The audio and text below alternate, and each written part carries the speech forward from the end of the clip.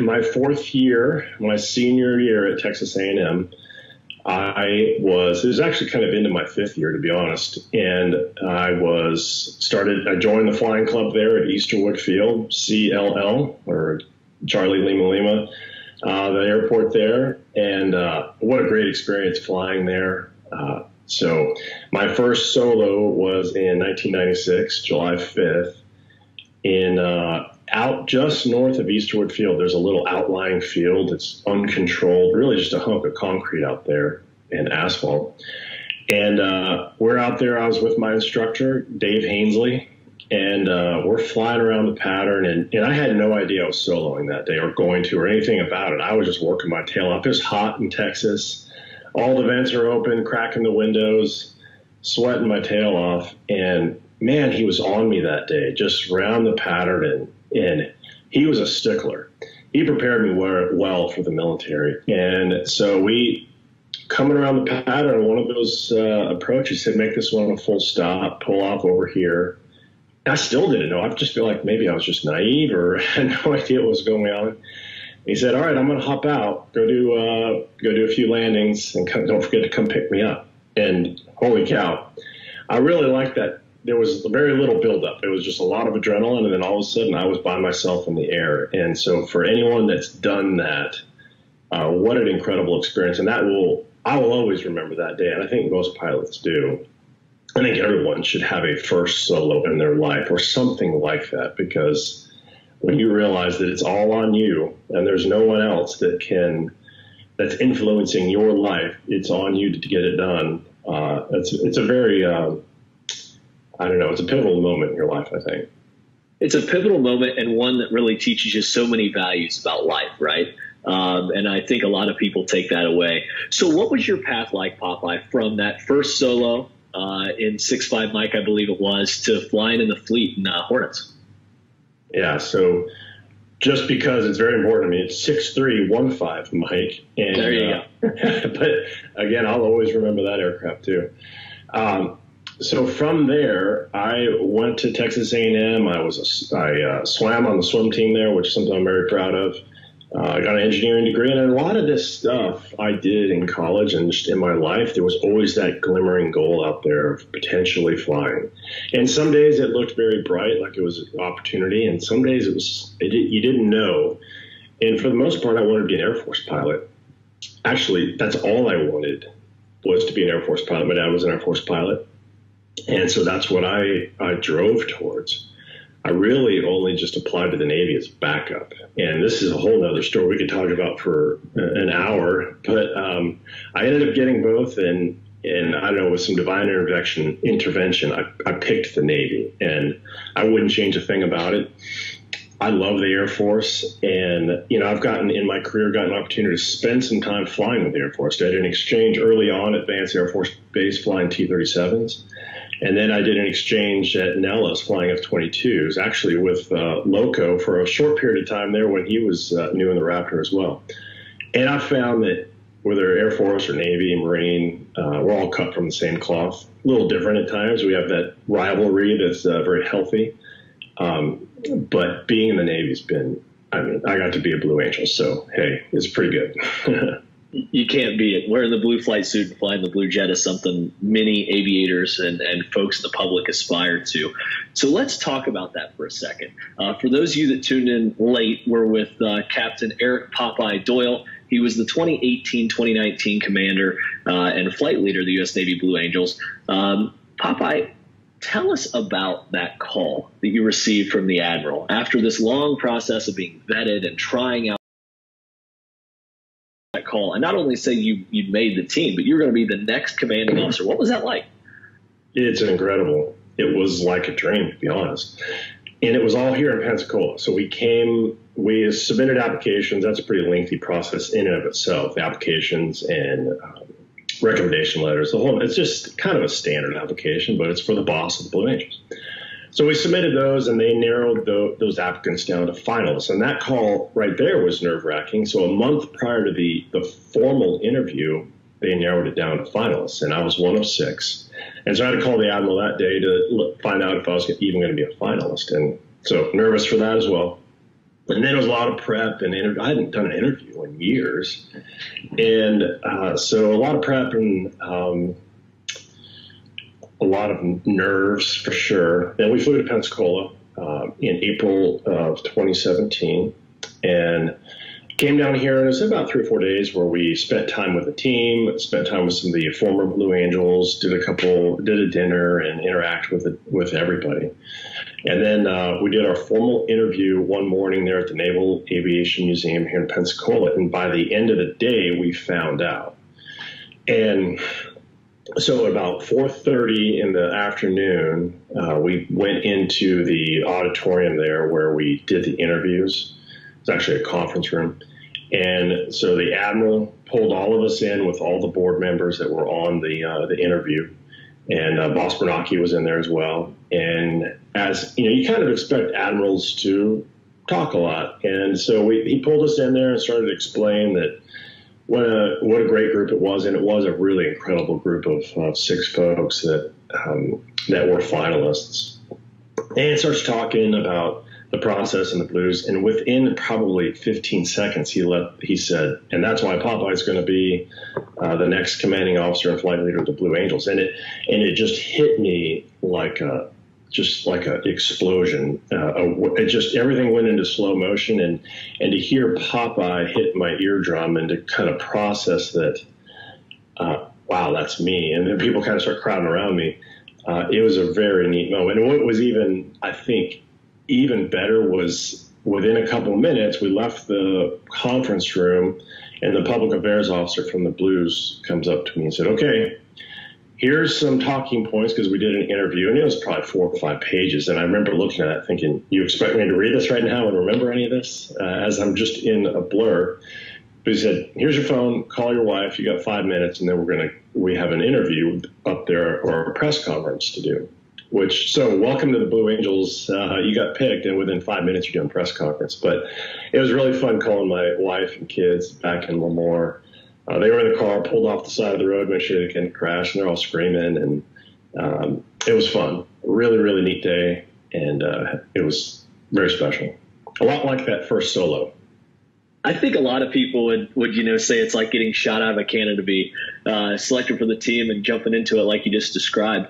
But tell us, what was it like? You just said uh, your family was at Lemoore when you called them. What was it like to transition from Lemoore uh, to Pensacola and flying from the fleet with a with a uh, OD flight suit on, like you have on today, uh, to transition into that that sleek blue flight suit? What was that transition period like for you? Well, it was a whole. It, you know, I, at that point, I had over 3,000 hours in the Hornet alone, both varieties. And you kind of feel like you got a lot of experience and and I guess you do, relatively speaking, but it's all different here, that's for sure. And the team has a very good process of basically training and bringing. You always look at those Blue Jets and see you kind of miss the personalities sometimes. What's interesting is the turnover rate of that team. Everyone spends two to three years, and every year, at least three positions in that delta are new whether they are brand new to the team or new in that position, that team is, is kind of half new, depending on their level of experience on the team. So we're always training and always turning over. As soon as day one of training here in Pensacola, mid November, when the new guys and girls get into their positions, right there, we're obviously training, but we're also turning over because that's the first and last time that I will be the boss in the second year and training a new two. So I'm basically right out of the gate. Okay, you need to know these things, but then in one year from now, when there's a new boss sitting in my seat, remember these things that you're going to have to tell him or her that's sitting here. And that we do that for all year. And so you almost never get into this, okay, we're, we're the team, it's just going to way it's going to be. You're always looking forward and training and preparing. And I think that's what's so special about the team at keeping it sharp and tight because we're just continually learning. And I think uh, that's one thing that's just incredible. So you just explained that you know being the commanding officer of the Blue Angels is not just about the flying. Uh, it, it's also about the groundwork. Most people see the boss flying the number one jet in the Diamond or the Delta, and they don't see all the work that goes on behind the scenes. What's it like to be the commanding officer of the team and really leading a, a company of people, if you will? Well, it's a it is a company of people, and they're they're exceptional people, and everyone on the Blue Angels is a volunteer, and they all interview, and they all come here voluntarily to come do, which can be it's a lot of fun and no one would take it back, but it can be arduous duty. It's a busy, busy time.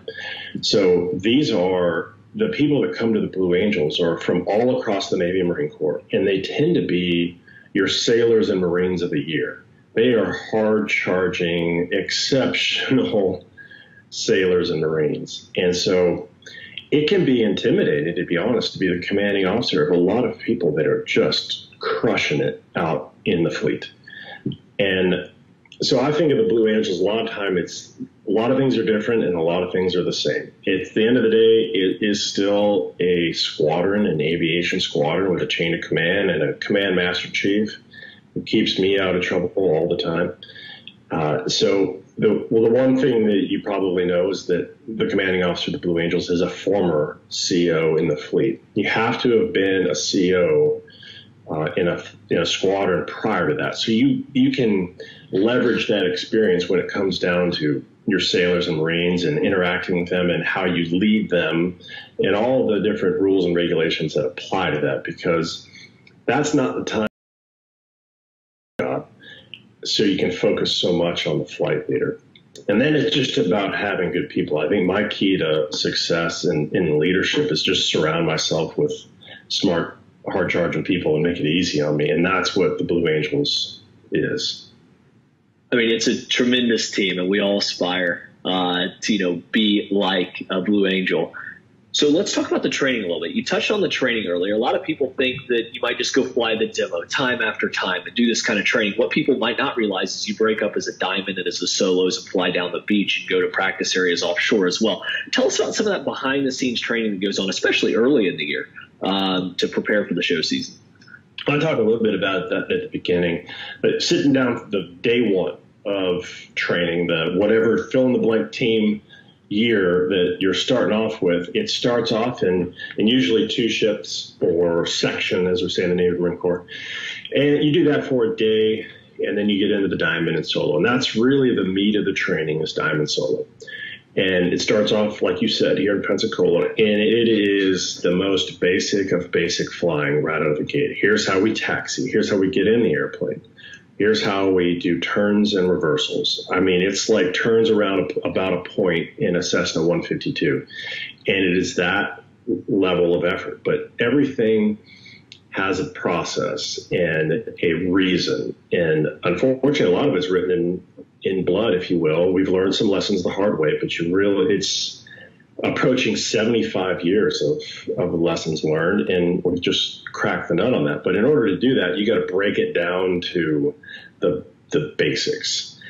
And as a fleet pilot with, like I said, lots of combat time and over 3,000 hours in an F 18, you have got to put your pride on the shelf and realize that it starts all over here and it's very special. And I remember it was um, uh, Damon Kroes, who was my two my first year, and the Boston two have a very special relationship in the way we. You know, I keep pointing over here because he sits to my left at the table, and I and whenever I talk about Damon.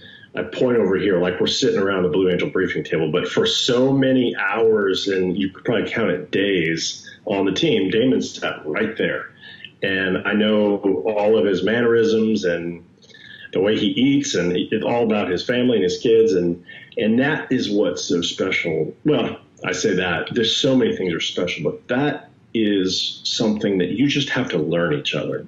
And Damon said to me early on that we were talking about my cadence and the way I said smoke on and coming left and a little pull and and there was the way I said it. I was working very hard on learning how to do it the right way or the Blue Angel way. And Damon said, Well, boss, we'll all figure out how you do it. And I remember thinking, Well, I need to do it the Blue Angel way. And there's a certain amount of each boss does it different. Each boss does their cadence different. and they sound different and they pull the jet just a little bit different. And your subconscious will learn that before your conscious. So we just, after a while, we just need to fly together. And you can brief and chair fly a lot, but at some point you just got to get a lot of reps. And after a while, all those guys learn it. And, and that's when you really see it click is they just we just know how each other flies and we, we talk a lot about trust and obviously i trust everyone on that team implicitly but we also have this trust in i know how they are going to fly and it's not that i don't think boss is going to give me a wing intentionally just because he wants to be a jerk i trust that he's not going to do that but i also trust that we've done a few thousand of these Diamond 360s or Diamond rolls, and this is how he's going to do it. And my body knows it, his body knows it, and that's when I think the demo really comes together. We all fly in front of tough crowds, and I think there's no tougher crowd to fly in front of than the Oshkosh crowd. Uh, you know, a half million, a half million very passionate aviation enthusiasts and pilots themselves, uh, which doesn't always happen at all the shows we go to across the country. Um, so, what was it like to do two flyovers? They weren't full demos. You did two flyovers uh, at Oshkosh 2018 and 2019. One of them was quite a surprise. Tell us about that 2018 flyover. Yeah, we kept 2018 a secret. So there was a small group of people that knew about that. Uh, Air Boss Wayne Boggs knew. He was kind of our our uh, our mole, our our, uh, our uh, double agent, if you will, on the ground there, uh, running the show, and uh, excuse me, even Rob Reider didn't know he was singing the national anthem that day. So we left from Pensacola. We were on our way to Fargo, or that was our ultimate destination that day. And so we're on our way, and uh, we had a tanker, and of course we have a timeline to meet at Oshkosh. I think it was 10 o'clock local. I don't have to look back, but we. Uh, of course, you know, when you have a hard time to get somewhere, you're always having fallout and weather, and we get finally get joined up on the tanker, and it was leaking out of the basket where our, where our probes meet the basket. It can have a little overspray, and sometimes too much can affect your engines because it can go down your right engine. And we were all leaning very forward in the straps because we wanted to get up there to Oshkosh, and so we got that all sorted out and uh, made our way up there. And we tried to avoid even flying over. So we're up at 25,000 feet, I think, 27 maybe. And uh, so we got into an airspace close to Oshkosh, but we didn't even want to fly over because even up at 25,000 feet, six, seven airplanes in a tanker stand out. And oh, Blue Angels, what are they doing here? So we stayed well away from the airfield. and of course, when we transit, well, you know, first off, when we fly the demo, we use a boom mic. But when we transit or anytime when we're not flying the demo, we're on an oxygen mask, just like everyone else in the fleet. And so I had my oxygen mask on, and it was busy. We kind of got there with just enough time to get uh, set up and then pushed for the flyover. So it wasn't until we we came down, we did after one pass, I'm saying some cadence, and I realized I still had my oxygen mask on. It was so quick, I didn't have time to switch out my boom mic. And so that was the first and the last time I ever did a uh, any maneuvers with my mask on. It was it was a bit weird, and my cadence sounded a little bit off, but uh, it was an incredible, incredible day. And then you did the same thing in 2019. You opened the show for us at 9 a.m. on Monday morning last year, Oshkosh 2019. Much the same way, much the same way. A few passes from behind the crowd.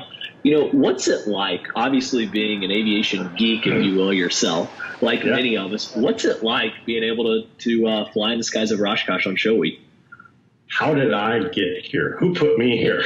there wasn't a day that went by on the team where I wouldn't look down at that blue suit and that blue airplane and think, how did I get here? And it really, it just thanks and humble to to get to do that, and especially for a crowd like that, which was me. I was one of those kids. I've never actually been to Oshkosh, so. Um, when we finish this interview, I want to make sure I get my get signed up for next year because I know we'll be there. Um, but I've been to many many air shows as a kid, and um, I was that kid on the on the on the fence line there watching you name it. Uh, a lot of my air shows growing up were at Houston, and so uh, the commemorative Air Force and uh, you name it. If it was flying, I was watching it all day long sun up to sundown, Friday, Saturday, and Sunday. So to know all those kids down there that were just like me, that's that's um, that's pretty intense. And it isn't even it isn't even the professional aviators that make you nervous. It's all those kids, and because uh, those are the ones you really want to, to do it right for. Now, Eric, you know, uh, we all have a favorite maneuver as a spectator. And, and it differs for many reasons. Some people love the diamond, some people love the solos, or maybe it's even the delta. What was your favorite maneuver? The diamond. I'm, you you probably realize that, but it's okay. well, hey, you're the leader, so we all have to love it, right? Uh, but uh, so, what's your favorite maneuver after flying the demo for two years? Wow. Uh, I would say I've been asked that a lot, and that maneuver changes a lot. There's so many maneuvers we do, and you kind of go through peaks and valleys with each one. You're, I always now the analogy I use is spinning plates. You know, there's about 30 plates you're spinning, and you're trying to keep them all spinning.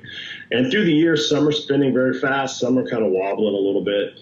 And so those fast spinning plates are the ones that you kind of enjoy a little bit more at times, but the one of my favorites is the loop break cross, and and we talk. It's really um, the embodiment of teamwork. One of the, the big pillars of the Blue Angels, and what, what we talk about. And it's just a lot of fun to get the Delta together. Uh, you're almost done with the demo, so your arm's burning uh, as you've flown through that whole demo. But then you get a re kind of a, a, burst of energy to do that maneuver. So you do a loop together as a delta, and then you break off and you're flying by yourself, and uh, and then to come back together at center point. It's just a fun maneuver. It's one I watched as a as a kid to look out, and I always imagine you know the the song that's playing, and um, I remember sitting there on the ground watching a maneuver, and you look out all directions, and you see a Blue Angel jet that looks like a rocket going up, you know, in the in the half Cuban eight that's a really fun maneuver, and it's very rewarding, especially when we get close to center point.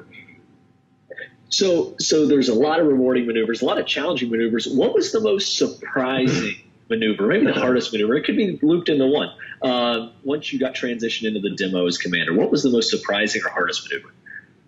Boy, I would say the hardest is the fan and the 360 for the diamond, and you, know, you can see the tightness of the formation, and those maneuvers really show. I talked a little bit ago about teamwork and trust and learning how each other flies.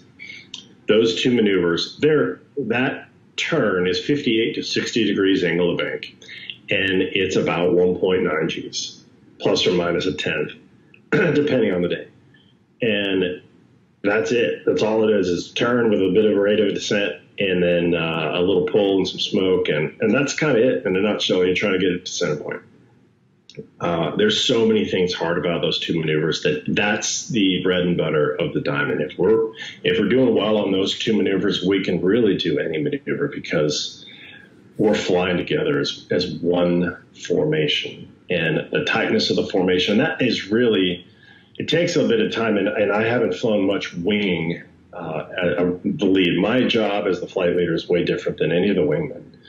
Uh, but they have to pull when I say pull, and they have to roll when I say roll, and you have to build that. You know, that's not something you do in the fleet. You re, you fly a reactive formation. You just wait for them to move, and then you. Well, those two maneuvers are they just have to get to the point where you pull together, and boy, it's challenging, especially get a little turbulence in there. And the other thing is that maneuver, by the time you're at center point, you've been locked in one position for, you know, 30 seconds. and there's not much you can do. Once you get into those sets, you kind of set it and forget it. And, and so there's not a lot of, well, I'm a little bit wide or a little bit deep or a little late. Maybe I'll adjust my angle of bank. There's none of that. You just set it and go because all those guys are, they're, you don't do anything unless you say it. So the number of Diamond 360s and fans that we do uh, are, are, pretty extraordinary. You think, wow, they're just doing a 60 degree angle of bank turn. Why does that take so much work? But it's hard work, especially in turbulence when we're locked in there and trying not to move. Um, I'd say, you know, one of the most rewarding maneuvers too are those when especially when we've had turbulence. And for me, it's hard to tell if I move because if we all bump through turbulence together, that's one thing. But if we bump through turbulence and then my body moves and then I move the flight controls, that isn't something that's happening in another airplane. So there's times when it's so bumpy that it's hard to tell how well you did on a fulcrum. The other folks, the wingmen, can tell. But to come back to a debrief and they're like, yeah, boss, we all bumped together it, and you can see it on the tape that we just went through the bumps, but all four planes moved together. Man, that is a very rewarding experience. now let's talk about the debrief for a second, because a lot of people see the jets in front of them. Uh, they get the autograph after the demo, uh, and then they think the day's over for you guys, but it's really not. You walk through the entire demo and watch the tape together. Let's talk about that for a second. What's that experience like? Well, um, that's how you get better, and you, you brief very um, we we have very stringent and very um, deliberate brief that prepares us for the flight. And then as we execute the, the, mission, but the majority of the time is spent in the debrief. Um, it's a it's a deliberate debrief where we have a very set process of just finding out what went wrong, and um, that's something that's bred into us as naval aviators early on, really in Air Force guys too. They and girls they you've got to put your pride on the shelf and just find out what mistakes happened. It isn't personal. It's just what happened and then how do we fix it for next time. That's that's it. That's really all it is. And it isn't you're a terrible person, Popeye, because you had a wing or you were low or you uh, who knows what. There's millions of things that you can uh, you can do wrong, and, and we tend to do them wrong a lot or make errors. And, and all we're trying to do through the year is minimize those errors or shave them down. And there's, you've heard it before, we strive for the perfect demo. There never, we haven't had one. Maybe someday we will, but there are so many opportunities to make deviations. We just keep them safe margins of deviations. We don't fly inside of those margins. And then we just try to figure out wh- where they were. How can we get better on each maneuver? And that's why, as you watch the Blue Angel demo throughout the year, it gets a little bit lower, it gets a little bit tighter, it gets a little bit, I wouldn't say faster, but it just gets the whole show gets a little tighter.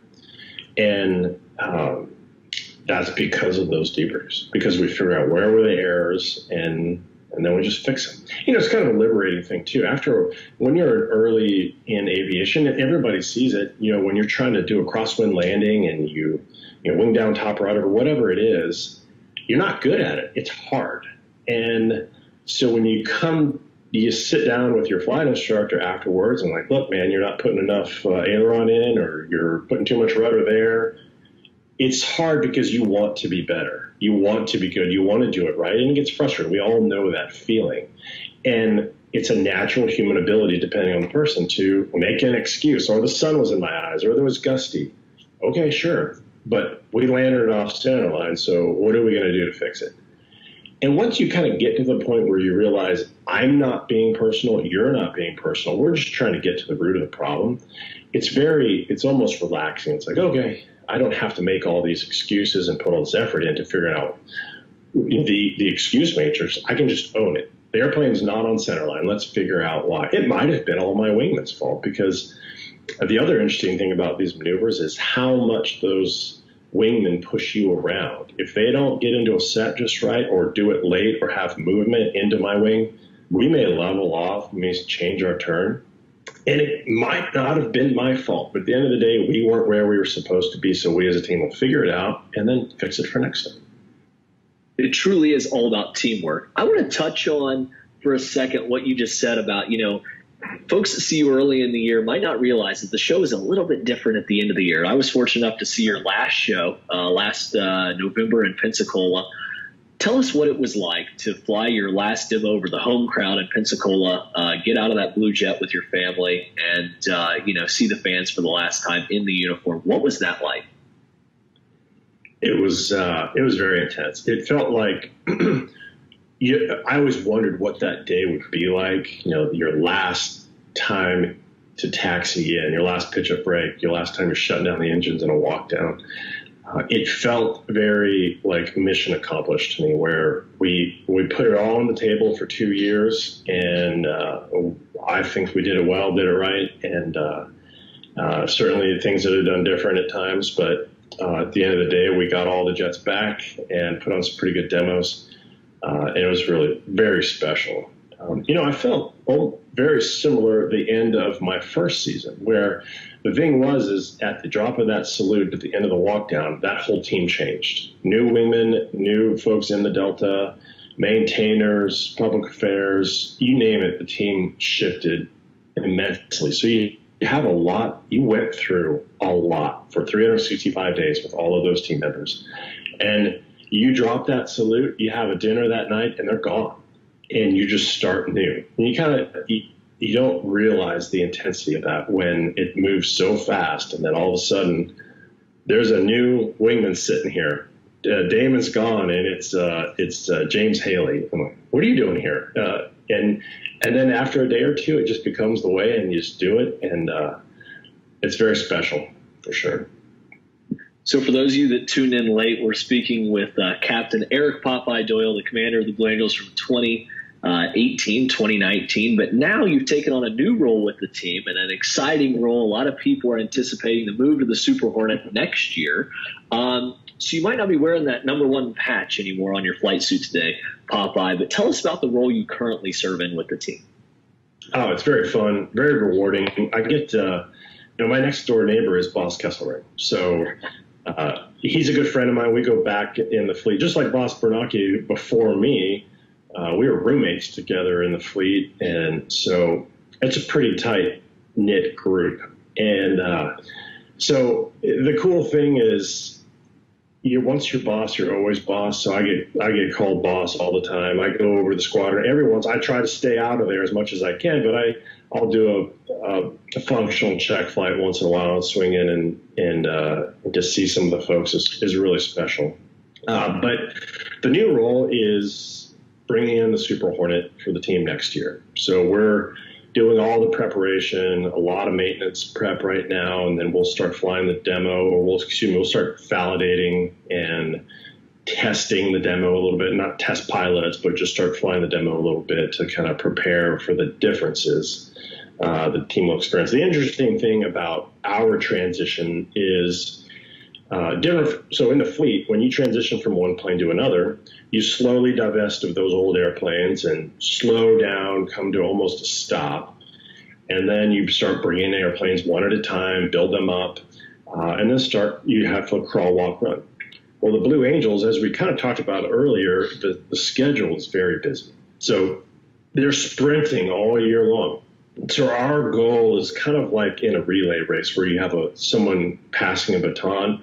We're endeavoring to pick up our speed and run parallel to the team. So come drop a salute, they can hand us the Legacy Hornet baton, and we'll give them the Super Hornet baton, and they can just keep on sprint. And uh, so that's what we're trying to do here. And uh, it's very rewarding. There's always uh, little hiccups here and there, and it's a unique job because things are different every day.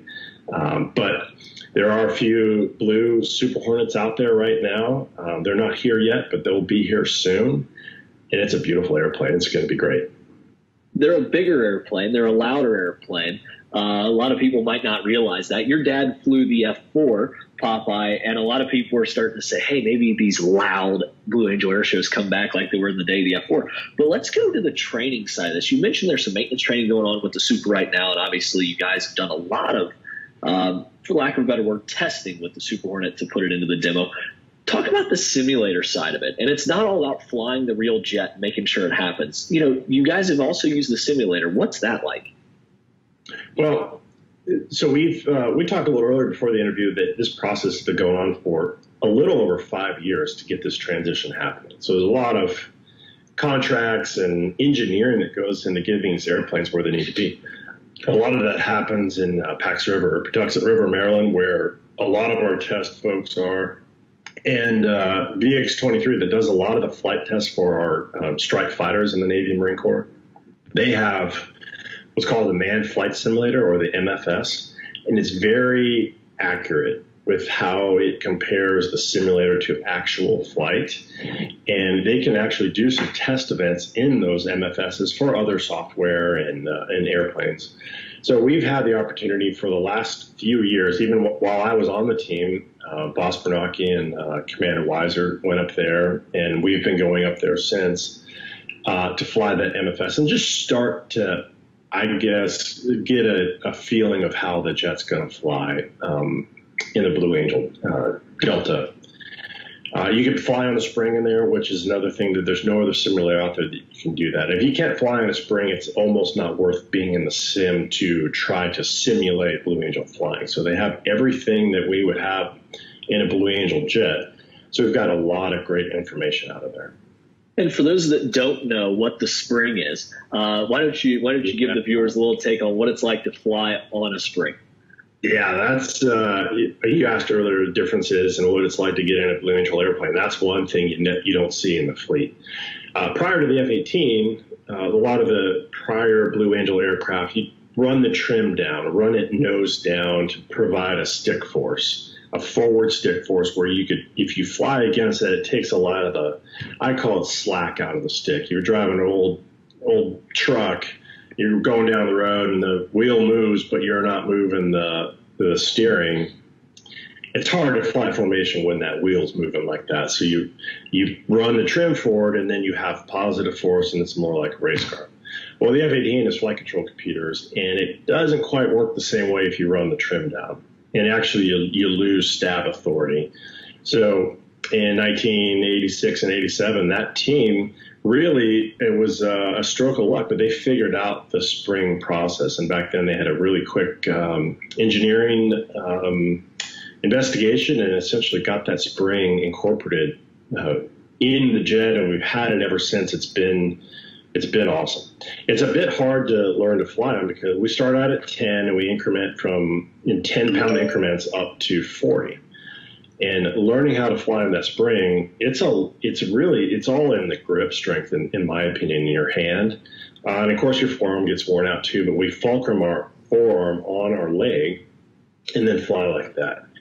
And I'll tell you, the when you when you're doing 15 sorties a week in El Centro, there's a lot of mornings I would un you know push my fingers out because they're essentially clamped up in a fist and popping my fingers and trying to get uh, my hand moving again. Uh, but after a while, when you get that arm strength and that grip strength figured out, you uh, I wanted more weight, especially flying through turbulence. So it's definitely a different way to fly. So, Papa, you came from the Super Hornet in the fleet uh, out at Lemoore to fly the Legacy Hornet again with the team, and now you're back in the Super. What are you most excited about for the team's transition to the Super Hornet? Wow, that I've had the chance to fly the Super Hornet and the Hornet. My whole I started off in the Legacy Hornet. I was in the first operational squadron of F-18Es and VFA 115 in Lemoore, California, and then I, my whole career I've bounced back and forth. So flown Legacy, flown Super Hornet, and uh, so it's fun to be going through another transition. Probably the most unique transition there's been in Super Hornets. I think there's going to be, as you said earlier, some folks have uh, likened it to the uh, to the F4. I think the noise level is going to be up there. I hope people don't get too scared. Uh, and I think it's going to be these nice new big airplanes with that blue and gold paint are going to be a beautiful sight. I think there's going to be some things that are going to look a lot like the current demo, and then we'll be able to take some some advantage of the Super Hornet to, to to make some differences. Our goal, number one, is just to have a safe transition and start with the current demo. And then we'll start to build from there uh, in the next in weeks, months, years to maybe change it a little bit. There'll be some things that we can't do the same way. There's just there's no doubt about it. Uh, but there's going to be some things that are going to look a lot different. I think of things like the Diamond 360 uh, to see the plan form of those airplanes going by, it's going to be a beautiful sight. If you've ever looked closely at a, at a uh, legacy Hornet compared to a Super Hornet, they look similar individually, but when you put them side by side, side by side, you really see the difference. And the one difference that is really striking is the top down view of that airplane. It's just a bigger, beefier, a lot more surface area on top of that plane to sort of see that plane go by, like I said, in a Diamond 360 or a maneuvering Delta. It's going to be, it's going to put a lot of shade on the ground. I think. Yeah, I think that uh, when you guys hit the thousand foot center point marker, uh, it's definitely going to look closer and tighter, and, and the crowds are going to love it. We're, we're almost wrapped up uh, with this segment for the day, Popeye. If there are any young people out there that are watching this that might aspire to wear the blue flight suit and fly the blue airplane, or you know, you've hit a lot about flight training today and comparing what you do in the blues to flying that 152 that you first soloed in at Texas A&M give advice to both of those sets of people from where you're sitting at today. What advice would you have for them? Well, I think uh, we talked a lot about it, uh, a lot about it today. One of the things that that I really honed in on in my Blue Angel career special is ownership and just owning your mistakes, taking them on board, and and just getting better. Um, and, and not make excuses. That's something that's helped me on on my own path through through many things. And the other is don't take no for an answer if there's something you want, and then keep going after it. And and then just really be focused on what you're doing now. Be the best at what you're doing today. It may not be the most glamorous thing. It might be college algebra or, or calculus or whatever it is, but in order to get to the end or the, the maybe the, the broader goal, if you could be the best at what you're doing today, you're going to go anywhere. And guess what? Your path will probably change uh, and you're going to find what you really want to do. It may not be the goal, it may be that goal, but if you're you're owning your mistakes, working hard at what it is you're doing today, and then always do hard things. Uh, applying to the Blue Angels was one of the hardest things I'd done in a while. I had to break down my pride and do interviews and be told that I was saying a lot or all the words that I kept repeating. I've probably done that today a bunch. Uh, I just did it right there. So that gets that's hard to be told that you're terrible interviewer. We need to practice. Like, oh man, I was a CO of a squadron. I can't do an interview. So, but it was hard. And flying the Blue Angel Delta and in those uh, that demo was hard. And but guess what? If you if you put your pride on yourself, and you'll get better at it, and it's pretty darn rewarding. Well, Eric, thank you so much for spending uh, time with us today and, and interviewing with us. Tell us about your own experience and what maybe we can look forward to in 2021. Thank you so much. You're welcome. Thank you. It was my pleasure. Well, guys, everybody watching, thanks for tuning in today. And for more content like this, make sure to keep checking the EAA social media channels and EAAtogether.org. Thanks for tuning in today.